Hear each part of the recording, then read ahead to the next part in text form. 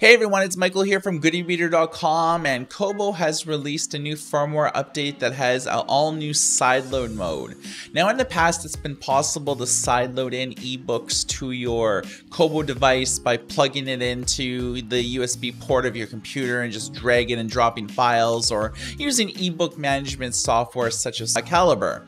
Well, what's new about this is that you can now sideload in ebooks without the need to register or log into your Kobo account. You don't have to be set to a Wi-Fi network or even have Bluetooth enabled.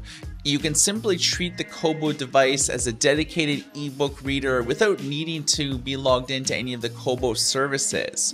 Now, for people that are already all logged in and stuff, that's fine. You can simply log out and you can just read ebooks that you sideload in yourself that you download from the internet or you from your personal ebook collection and so on.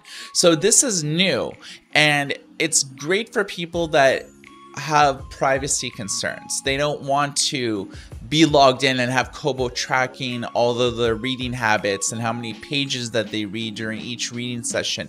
Kobo has a lot of metrics that they keep track of both for their reading rewards and for their own analytics. Kobo tracks everything that you're doing on your device. Some people don't like that, and it's nice that you can actually buy a Kobo branded device that's easily accessible to buy online, or one of the Kobo strengths is their wide array of retail partners all over the world, whether it's you're in Europe, North America, Australia, New Zealand, or even Japan or Taiwan. So there's a lot of people that maybe want to have a little bit of privacy, and at least Kobo now is supporting that. For Good e-Reader News, my name is Michael.